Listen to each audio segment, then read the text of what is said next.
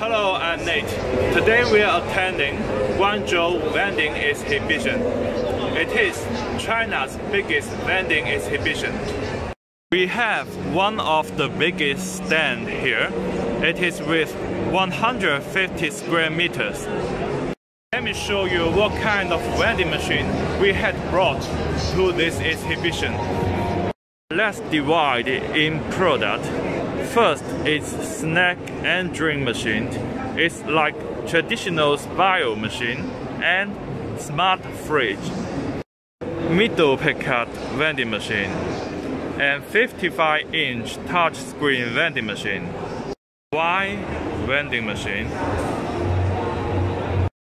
Medicine vending machine. We have mask vending machine. Medicine with Spire. Actually, I want to introduce you this machine. This is the good train design from the vending machine. It can put lots of medical boxes.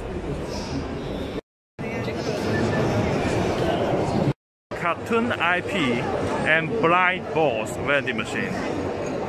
This is very popular this year in China. Locker vending machine. We have room temperature locker and cooling locker. If you want more information of our products, please contact us. Thank you for watching.